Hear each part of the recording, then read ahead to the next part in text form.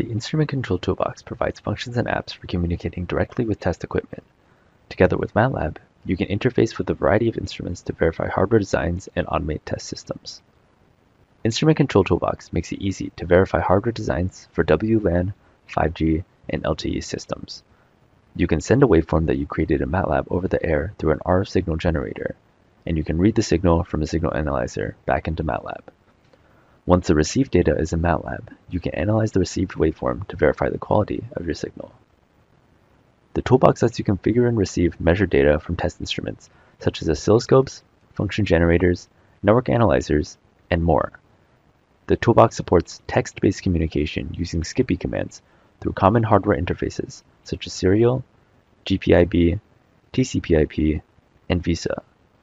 Devices conforming to LXI, PXI, and AXIe standards are also supported.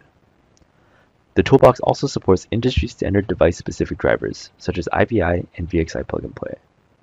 These drivers can be integrated with the Quick Control interface to provide ease of use when communicating with oscilloscopes, function generators, and RF signal generators. Instrument Control Toolbox offers apps which allow you to control devices without having to write MATLAB code. You can use the VISA Explorer app to send text-based SCPI commands to connected devices, configure instrument parameters, and acquire data. With the MATLAB code log, you can convert any workflow from the tool into a MATLAB script. The Instrument Explorer app lets you connect to instruments that have IVI drivers. You can browse IVI driver functions and properties communicate with your instruments using the driver, and log the automatically generated MATLAB code associated with your actions in the app.